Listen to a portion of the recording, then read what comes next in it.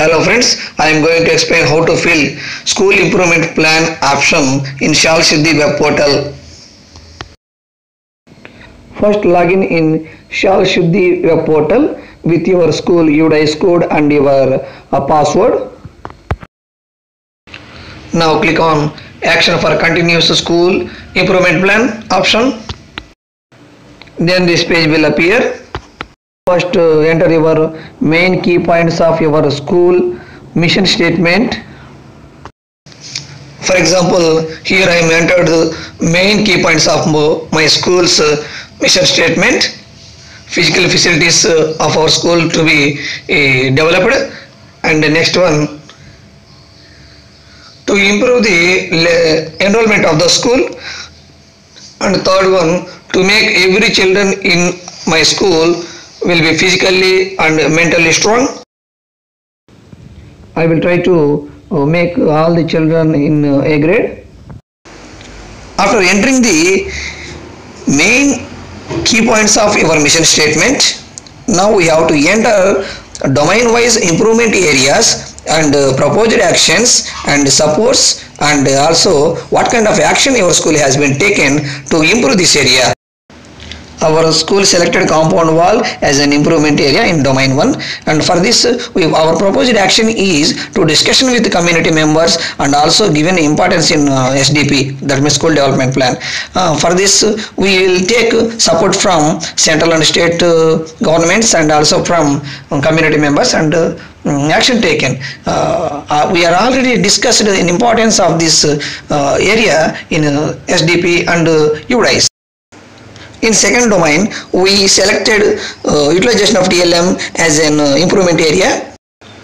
For the improvement of this area our proposed action is purchase of TLM for each class. We will take support from grants and uh, self preparation of uh, teachers.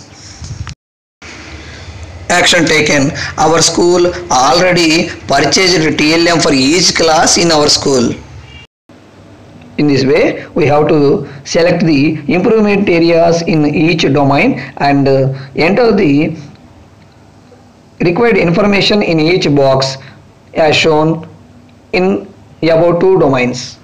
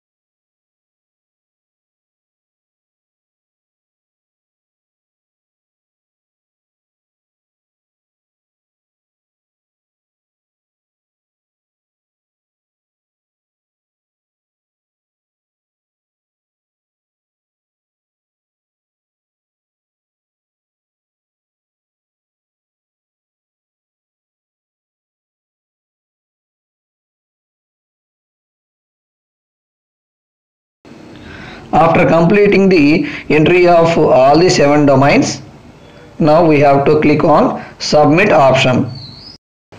In this way we can enter the data easily in school continuous improvement plan option in Shaala Siddhi website